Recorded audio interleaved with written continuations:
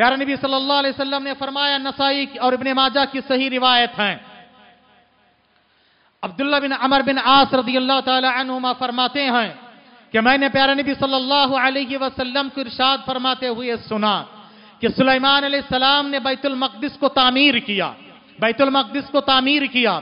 ویسے بیت المقدس، یاد رکھیے، روئے زمین پہ سب سے پہلا گھر کعبہ ہے۔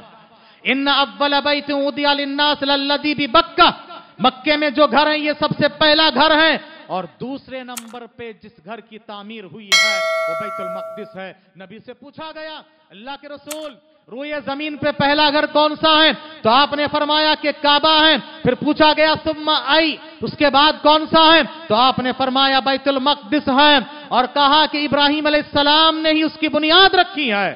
کیونکہ ابراہیم علیہ السلام کی دو اولاد ایک اولاد اسماعیل علیہ السلام جو مکے میں تھے اور دوسری اولاد اساق علیہ السلام جو فلسطین میں اور شام میں وہاں پر بیت المقدس کے پاس تھے تو ابراہیم علیہ السلام نے اس کی بنیاد رکھی ہے۔ اللہ اکبر۔ اور یاد رکھیے یہ دونوں ابراہیم علیہ السلام کی اولاد ہیں۔ اور دیکھا جائے تو یہ چچازاد بھائی ہیں۔ دو, دونوں چچازاد بھائی ہیں۔ اور اس اعتبار سے دیکھا جائے تو سب کا سلسلہ جا کے ابراہیم علیہ السلام پر جڑتا ہے۔